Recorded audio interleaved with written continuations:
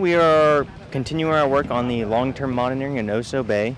We have these probes, and what they do is they sample water quality data. And the purpose of that is to sort of characterize the bay in terms of temperature, salinity, the amount of dissolved oxygen in the water. We're also taking spot checks for nutrients, the total amount of sediment and nitrogen and carbon in the water, things like that.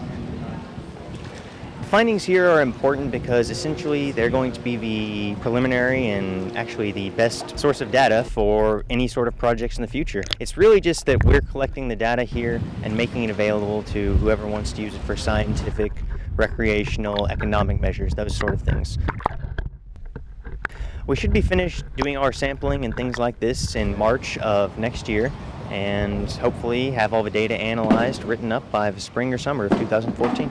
Oso Bay is just a important habitat for a number of recreational and commercial species and what we do here at the Harte Research Institute is an important safeguard in making sure that it continues to be so for the foreseeable future.